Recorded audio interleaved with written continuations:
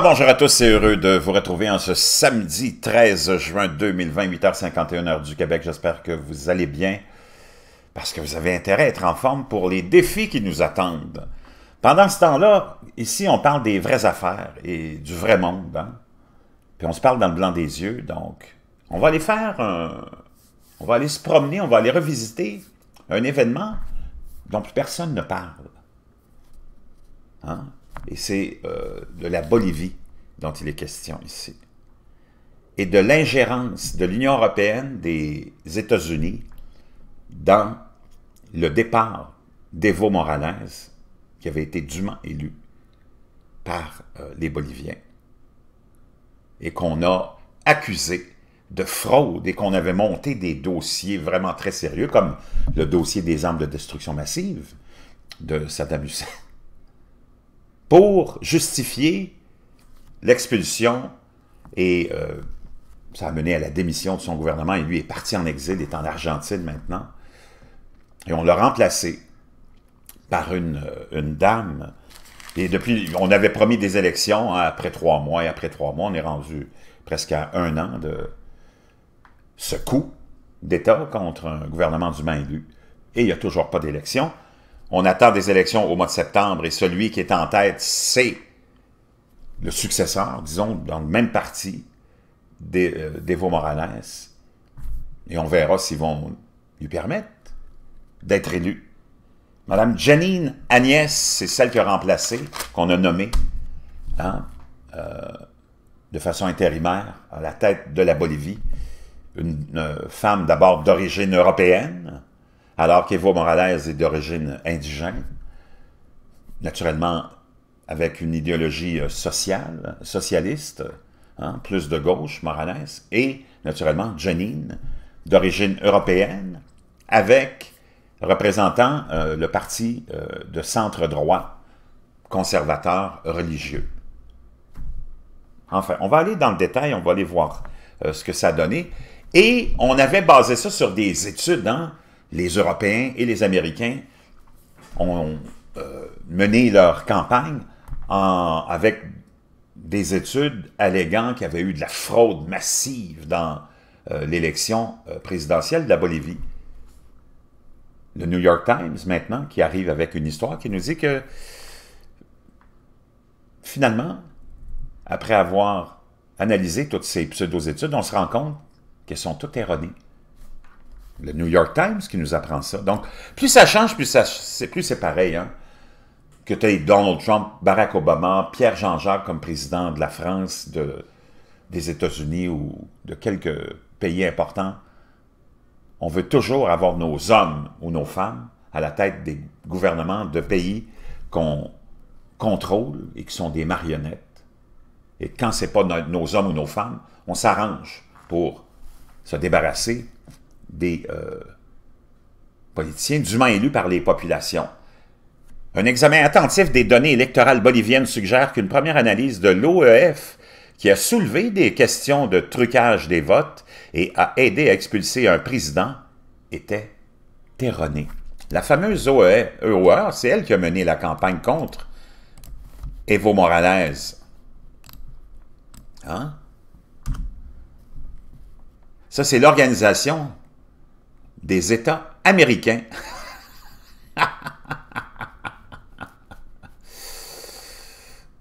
C'est eux qui ont mené cette campagne-là, qui a mené au départ, hein, à la suite de cette élection controversée. Donc, c'est tout récent, 7 juin 2020. Il n'y a personne qui parle de ça, naturellement, dans les médias traditionnels. Puis toutes les autres têtes de l'INOT qui s'intéressent euh, des histoires qui sont vraiment euh, inintéressantes d'un coup d'État contre Donald Trump. ces, ces histoires-là, ça les intéresse pas, mais ici, on parle des vraies affaires, puis du vrai monde, entre autres. Puis on se parle dans le blanc des yeux. L'élection a été la plus contestée depuis des décennies. Evo Morales, le premier président indigène de Bolivie se présentait pour un quatrième mandat face à une opposition qu'il considérait comme autoritaire et peu disposée à renoncer au pouvoir. Au début du décompte des voix, le 20 octobre 2019, les tensions étaient vives lorsque le décompte s'est arrêté soudainement et sans explication, puis a repris une journée entière plus tard. Cela a montré que Morales avait juste assez de voix pour remporter une victoire au milieu de soupçons de fraude. Des manifestations ont éclaté dans tout le pays et la communauté internationale s'est tournée vers l'Organisation des États américains, la fameuse OES, qui avait été invitée à observer les élections pour son évaluation. La déclaration de l'organisation qui cite un changement inexplicable qui modifie radicalement le sort des élections a accru les doutes sur l'équité du vote et alimenté une chaîne d'événements qui ont changé l'histoire de la nation sud-américaine. L'opposition a saisi la prétention d'intensifier les protestations, de recueillir un soutien international et de pousser M. Morales du pouvoir avec un soutien militaire des semaines plus tard. Maintenant, une étude réalisée par des chercheurs indépendants utilisant des données obtenues par le New York Times auprès des autorités électorales boliviennes, a révélé que l'analyse statistique de l'Organisation des États américains était elle-même erronée. La conclusion selon laquelle la euh, part de Morales dans le vote a explosé de manière inexplicable lors des derniers scrutins reposait sur des données incorrectes et des techniques statistiques inappropriées, ont constaté les chercheurs. Nous avons examiné de près les preuves statistiques de l'OEA et avons découvert des problèmes avec leur méthode, a déclaré Francisco Rodriguez, économiste qui enseigne les études latino-américaines à l'Université de Tulane.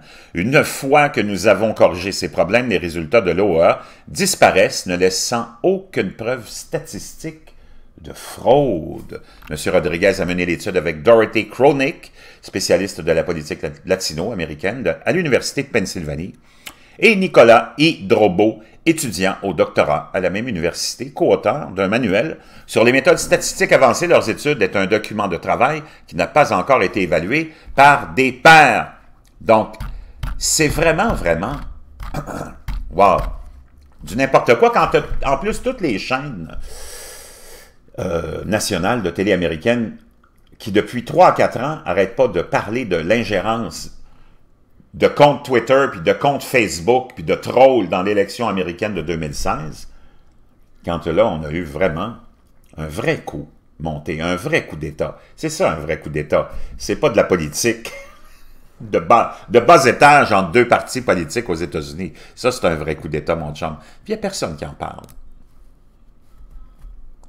Donc, celle qui l'a remplacé, ou qu'on a mis à la tête du, euh, du pays, Jenny, la qu'on voit ici, est née le 13 août 1967, est une politicienne et avocate. Tiens, tiens, tiens, une autre avocate. On a toujours besoin d'avocats parce que si on met de côté la Chine, qui est le seul gouvernement qui est administré par des ingénieurs, l'ensemble des autres pays sont administrés par des avocats et des morons. Et voilà, un autre bel exemple.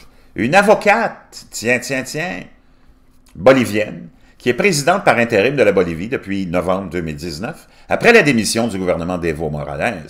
Sa fonction intérimaire de présidente prendra fin lorsqu'il y aura de nouvelles élections qui n'arrivent pas, qu'on a promis, puis qui viennent et qui sont toujours hein, reportées, reportées, reportées, reportées. Sa fonction intérimaire de présidente prendra fin lors de nouvelles élections qui auront lieu en 2020. Alors, elle est là, supposément en septembre, on attend ces élections-là maintenant. Elle est la deuxième femme présidente de la Bolivie, la première étant Lydia Guler Tejada, qui a été présidente par intérim de 79 à 80, avant d'être renversée après les élections générales boliviennes de 80. Elle était auparavant sénatrice de l'opposition du département du Nord, est de Béni, appartenant au mouvement démocrate de centre droit religieux. Ici, il faut vraiment le, parce que c'est pas vraiment, vraiment indiqué, mais il faut le spécifier. Elle, fait actuellement partie de l'alliance euh, Juntos euh, Avancemos, un parti de coalition composé du Parti du mouvement social-démocrate et des quatre autres partis. Sa position politique est socialement conservatrice et fiscalement progressiste, et en opposition à Morales. Mais elle, elle est d'origine européenne, OK? Donc, ça, c'est ce qu'il en est de cette histoire-là, du Times. Et j'aimerais vous rappeler que depuis que euh, ce changement a eu lieu, qu'on a nommé cette dame euh, à la tête de la Bolivie, on a eu des changements euh, très importants. OK? Mais vraiment, vraiment très importants au niveau, euh, naturellement, des politiques du gouvernement. Puis on va aller juste en voir quelques-unes. Ça, euh, a amené le retour de ce qu'on appelle la USAID, est la première agence de développement international au monde et un acteur catalyseur, au catalyseur des produits de développement, le travail de la USAID fait progresser la sécurité nationale et la prospérité économique des États-Unis. Démontre la générosité des, démontre la générosité des, générosité des États-Unis et promeut une voie vers l'autonomie et la résilience des bénéficiaires. Donc, eux, ils avaient été bannis et le gouvernement maintenant euh, de cette dame, euh, qui a été nommée là, euh, de façon intérimaire, ramène la USAID dans le portrait du pays. Depuis qu'elle a été nommée aussi, déjà, hein, ça fait pas beaucoup de temps, hein, on a déjà rétabli des relations avec Israël, on a fermé les ambassades d'Iran et du Nicaragua, on s'est aligné totalement sur la politique euh, d'affaires étrangères des États-Unis. Et on a reconnu aussi Juan Guaido comme le président euh, du Venezuela. Imaginez-vous. C'est vraiment, vraiment euh, renversant de voir ça. Depuis aussi sa venue à la tête du gouvernement, il y a eu plusieurs manifestations. Il y a eu 36 personnes qui ont été tuées lors de ces manifestations. Une centaine d'officiels du parti d'Evo Morales ont été arrêtés. Euh, RTTV et Télésur ont été interdits en Bolivie et 53 radios communautaires ont été fermées. Maintenant, on sait que c'est probablement un coup d'État qui a été mené pour prendre le contrôle d'une ressource naturelle qui est euh, probablement euh, une des plus importantes euh, dans l'économie actuelle, le lithium. Et apparemment, la Bolivie est, une très grande réserve de lithium. Et avant, cette ressource naturelle-là était exploitée par le gouvernement bolivien. Le nouveau gouvernement mené par cette dame a mis une fin, un arrêt à la production étatique de l'État et a fait appel à des euh, entreprises privées internationales.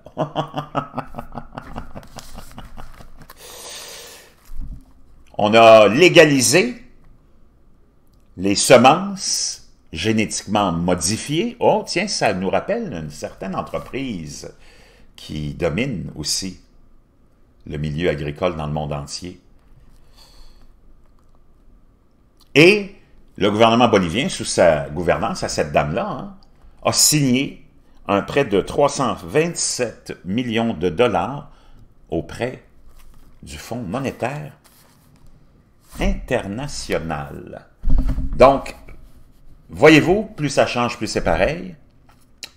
Et le lithium, ben, ça semble être probablement ce qui a poussé euh, ce coup d'État. Naturellement, c'est pas pour l'avancement euh, et le bien-être de la population hein, de la Bolivie. Et là, on nous dit, le lithium de la Bolivie n'est pas le nouveau pétrole. Une théorie populaire autour de la suppression d'Evo Morales se trompe complètement, nous dit euh, ce petit journal FP. La récente éviction du président bolivien Evo Morales, a suscité de nombreuses théories, en particulier à gauche, l'un des plus importants est l'idée que l'intervention militaire est un coup d'État destiné à assurer le contrôle américain d'une ressource mondiale critique, le lithium. Donc, si on vient t'écrire ça pour te dire que non, c'est pas ça, ben c'est parce que c'est ça. Faut toujours que tu lises le contraire de ce qu'on dit. Cela fait partie d'une tradition qui considère que la politique étrangère des États-Unis consiste essentiellement à contrôler les richesses naturelles par tous les moyens nécessaires. Oui, c'est exactement ça qui se déroule toujours devant nos yeux. c'est incroyable. Ah. Le lithium est sans doute important pour l'économie future car il est l'un des composants clés des batteries au lithium qui alimenteront ou qui alimentent tout des ordinateurs portables à de nombreuses voitures électriques. Les stratèges américains s'y intéressent depuis les années 60 pour ces seules raisons. Et cela ne fera que gagner en importance à mesure que les véhicules électriques remplacent de plus en plus les voitures traditionnelles. Incroyable, mais euh, complètement vrai. Donc, on voit que ce qui a poussé, c'est vraiment, vraiment, vraiment, vraiment ça. Et c'est vraiment inquiétant hein, de voir euh, comment plus ça change, plus c'est pareil, et que on se fait toujours avoir. Il n'y a pas vraiment de médias ou de politiciens qui s'intéressent à ce qui s'est passé en Bolivie. Plus de 12 000 pieds au-dessus de l'océan Pacifique, dans l'Atil euh, plano bolivien, les vestiges cristallins d'anciens lits de lacs forment d'étranges motifs géométriques qui s'étalent avec une euh, planète surnaturelle vers des horizons lointains. Parsemés de montagnes, il s'agit du Salar des Uyani, ou un salar ou salar, si grand qu'il est visible de l'espace, sous sa surface, le plus grand gisement de lithium connu de la Terre, un métal essentiel aux batteries légères et à haute performance présente dans les ordinateurs portables, les smartphones, les voitures électriques et les installations de stockage d'énergie nouvelle. Qu'est-ce qu'on a dit ici? Le plus grand gisement de lithium connu de la Terre depuis plus d'une décennie, la Bolivie s'efforce sans succès de commercialiser ses richesses en lithium grâce à un ambitieux projet géré par l'État et soutenu par l'ancien président Evo Morales. Lorsque Morales a été expulsé en novembre au milieu d'accusations de fraude électorale, l'avenir du projet a été remis en question, certains y compris Morales lui-même, même ont émis l'hypothèse que les intérêts néfastes du lithium soutenu par les États-Unis étaient une force motrice de l'effondrement du gouvernement socialiste. Wow! Et il y a des. Je vous laisserai cet article-là, c'est vraiment intéressant, mais juste pas. Je voulais qu'on fasse un tour d'horizon sur une histoire complètement horrible, hein, d'ingérence politique, dont, semble-t-il, personne ne s'intéresse. C'est ça, le vrai monde, les vraies affaires. On parle du vrai monde et des vraies affaires sans cachette. Je vous reviens.